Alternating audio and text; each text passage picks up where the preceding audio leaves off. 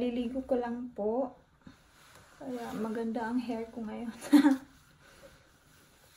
Wala po akong nilalagay sa mukha ko. Ito ay pimple marks. Mm, pangit.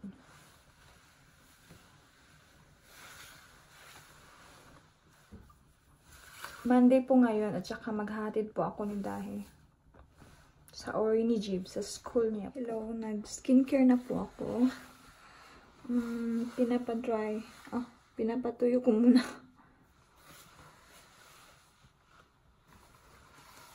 Mm. Oh? Gising ng anak ko. Say hello. Good morning. Good morning. Good morning. Good morning. Good morning. Annyeonghaseyo. Hatid ko lang ni Dahi sa school niya. So, ay, sobrang pula. Hindi pantay. Hindi po ako nagkikilay. Ay.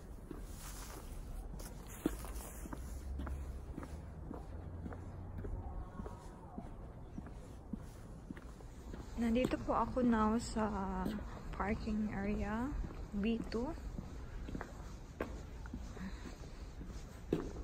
shortcut ako umuwi.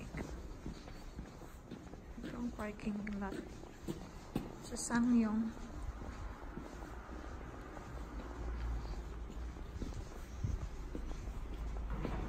Ah B1 pala to. Tsaka muna may sasakyan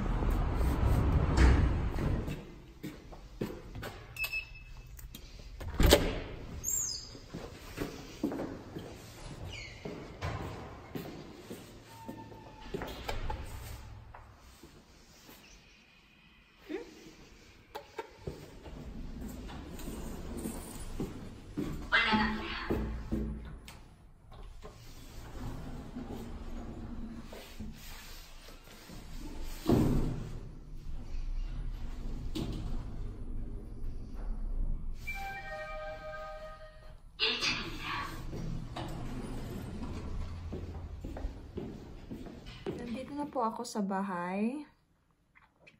At ngayon po, um, kakain ako ng Kyol. Orange na to kasi malaki. Orange. Tapos, water. Nakailang inom na ako ng tubig. Pero, masarap talaga ang tubig. Um, ano ba yan? Water is life nga. Ngayon, kasi while maglalaba or yung washing machine, mga damit ni Dahi, yung washing ko muna.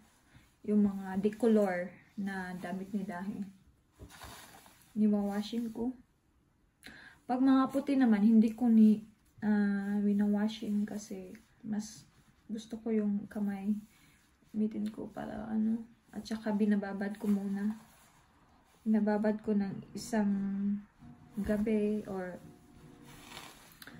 how many hours ganyan bago ako ito ano lalabhan. Pasensya na kayo. Malikot ako. Joke buang na tani Oh, simulan na natin. Hmm? Parang may kulang ako. Suklay. Mm, nasa harap ko po ngayon ay ang mirror. Itong mirror na to, mirror to ng bana ko, ng husband ko.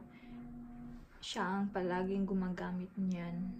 Kasi ako pag magsasalamin, ano lang, yung eye makeup mirror lang, eye, uh, eyebrow mirror or dito sa may pintuan na malaking mirror dyan ako nag ano nag-ayos ng mukha ko ganyan makeup pag mag make makeup. At ito tubig mm, bread, tsaka kale or orange, at tsaka water, supply, pitaka, uh, hair iron, charger, at ano, mga books, at ano, pencil case. Simulan na natin. Mag-hair curl, curl ako.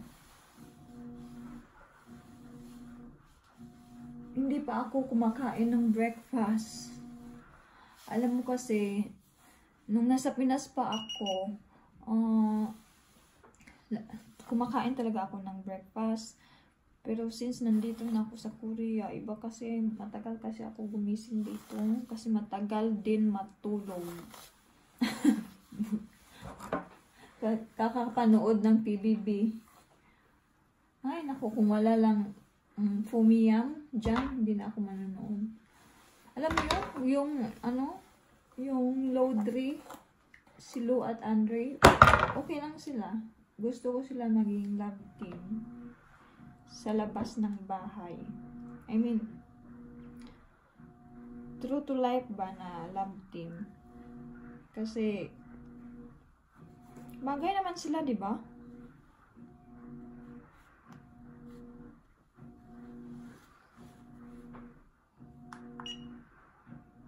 i-180 degree natin. Up to 200 degree po ito. Medyo ano, mainit na pag 200. As in, mainit talaga pag 200. Ito, 180 lang to. Hindi po ako professional uh, hairstylist. Hairstylist. Pero, akin-akin lang po to. yan?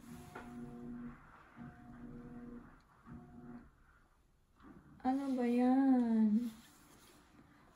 Ano, wala na. Minsan kasi, nakakapagod din mag-hairstyle eh. Mga Koreans dito, mahiling mag-hairstyle ng kanilang hair. Oh, Judy, ano ba yan? Ganito na lang.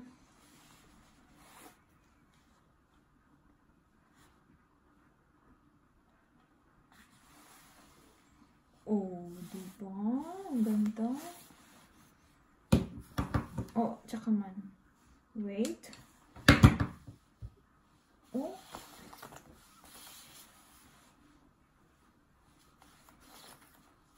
Ito.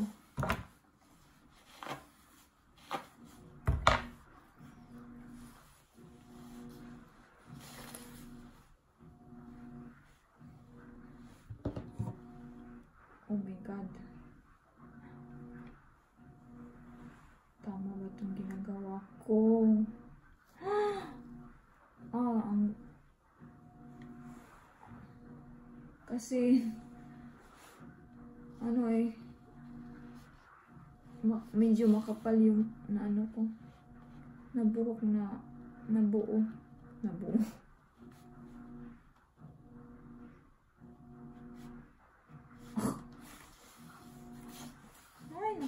Kailangan yan.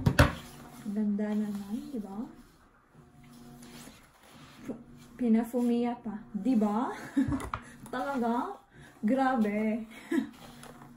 yan, ex uh, ano niya, expressions. Di ba? Talaga? Grabe. Charot. Kung si Yam Yam naman, charot. Sa mga nakaka-relate dyan sa PBB, pag nanonood kayo ng PBB, alam nyo yan. Sa mga hindi na, na nanonood, uh, wala lang. Share ko lang.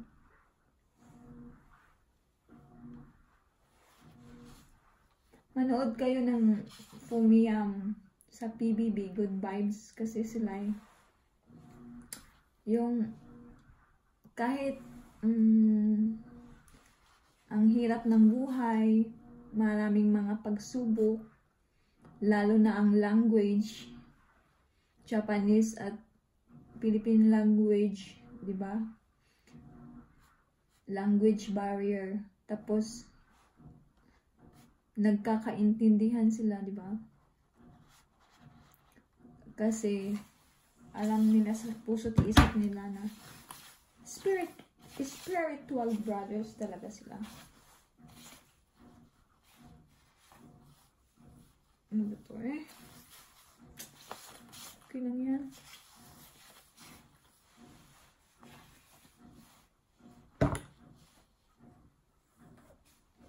Hindi na nakita mo ko. Ay, no. Hmm, ito. Nakasuot ako ng. Ito ang sinuot ko ngayon. Tsaka na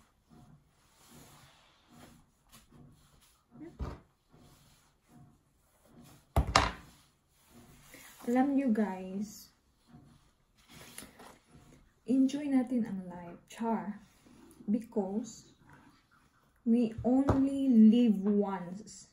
Hindi natin alam kung kailan tayo mawala sa mundo. Di ba? Tsaka, hindi natin hawak ang buhay natin. natin. Kaya, hanggat maaari, kung anong gusto mong gawin, anong gusto mong kainin, anong gusto mong sasabihin sa mga mahal mo sa buhay, mga kahit kahit hindi ano, yung mga simpleng bagay gusto mong gawin, gawin mo. Kasi wala sa ano, wala sa edad, sa gwapo at gwapa, sa ganda at gwapo, wala yan sa ganyan. Kung oras mo na, eh, hindi wala. Kaya enjoy ang life. Enjoy ang life in a right way. Hmm? Hindi sa mga masasamang bagay. Nang hindi ka nakakaapak ng ibang tao. Ay, naku, ano ba yan? Ay, hindi siya masyadong nagko-curl dito sa harap mo.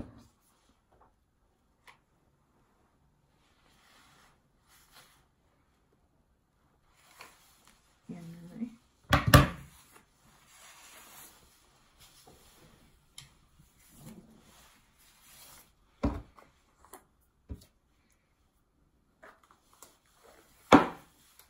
Alam niyo din na kaming mag-asawa sa may asawang Korean ang hirap. Kasi, ikaw lahat mag-a-adjust dito. Lahat. Ang hirap talaga. Hindi nyo lang alam kung gaano kahirap. Ang mga unang, ng first time ko dito, nasa shock, culture shock ako. Tapos, ano, sa language din nila, nahihirapan talaga. Until now, hirap pa rin. At saka, pero at least now, medyo ano na ako, yung hindi na ako na masyadong mahihiya. Lumalabas na ako ng bahay. Marunong na akong sumakay ng bus. Importante yan, yung marunong kang sumakay ng bus. Kasi pag gusto mong lumabas or nag-away kayo ng husband mo, gusto mong pumunta sa, hindi naman malayo. Yung gusto mong mailabas ang yung nararamdaman mga kalungkutan, gusto mong pumunta sa ibang lugar, eh, alam mo mong sumakay ng bus. Pag mag-taxi ka naman, ay go, ang mahal. Sayang ang pera. At least bus, isahan na. Kahit malayo, hindi, mahal.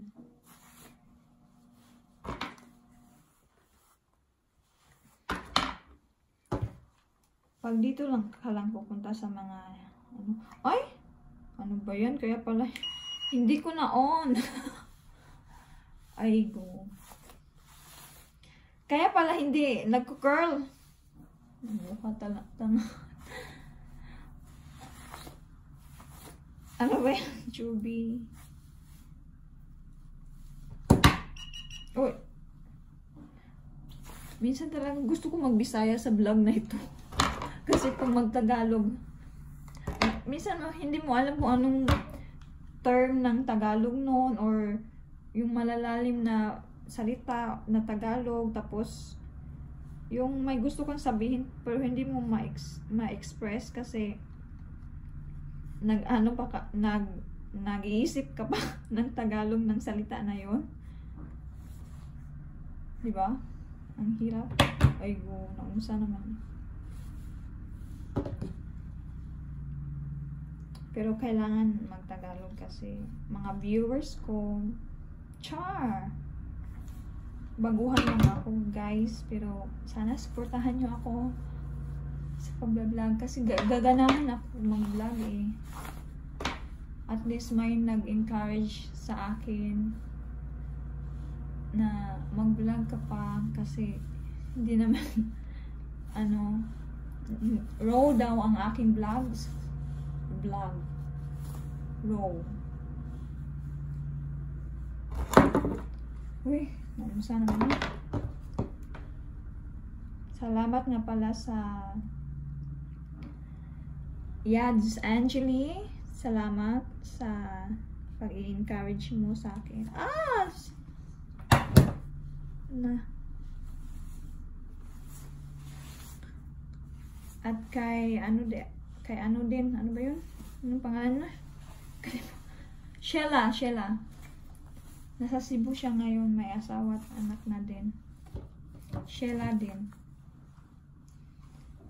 Salamat din, uh, bye, Sheila.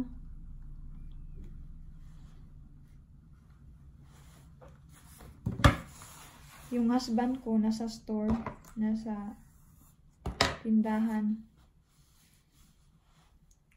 Hindi phone, cellphone store. Ang Hindipon ay cellphone store or yun, Udifone. Udifone.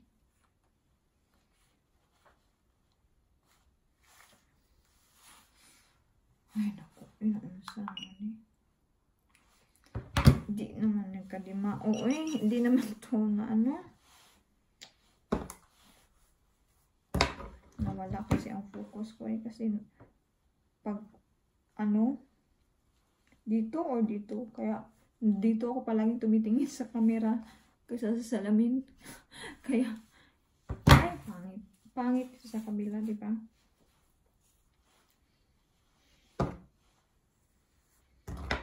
Kaya, guys, kahit mahirap ang buhay, huy, kung aka sa akala nyo lang masarap dito, masarap pag marami kang pera.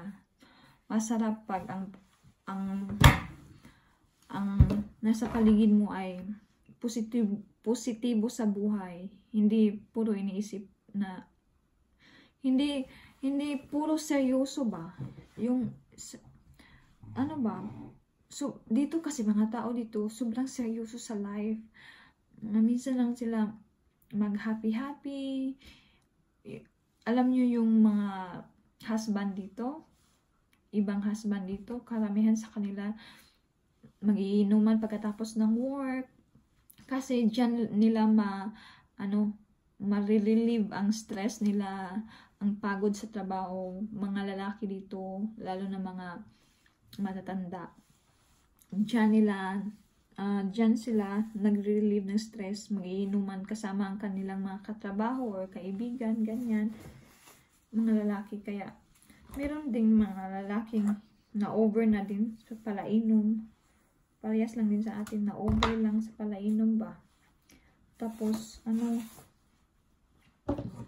na, nakakasira na relasyon. Kasi, alam nyo na, palaging uuwi ng bahay na late. Tapos, hindi natin alam na babae na pala. Ganyan. Pero, I'm thankful, I'm thankful sa husband ko kasi hindi siya ganyan. Kasi, hindi wala siyang ma, mar, hindi wala siyang maraming kaibigan, wala siyang maran. Ah, iba kasi siya eh. Um, ang lungkot din ng buhay ng husband ko noon until now.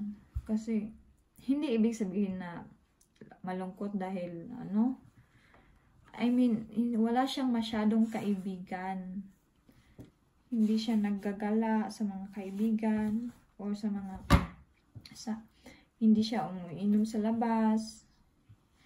Hindi siya naggagala kasama ang kaibigan. May kaibigan siya, best friend niya, pero hindi na sila nag ah, ano personal kasi medyo misunderstanding ba.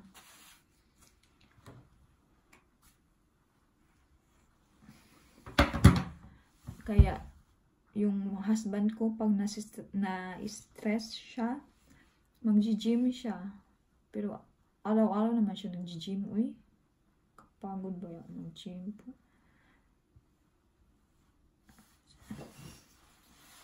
Oh guys, ito lang kalabasan. Char, kalabasan. Hindi na maintindihan. Pero maganda naman, di ba?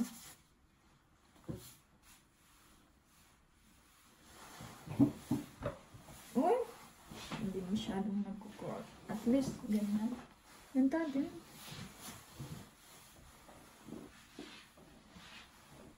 Ang background ko ay ang kitchen.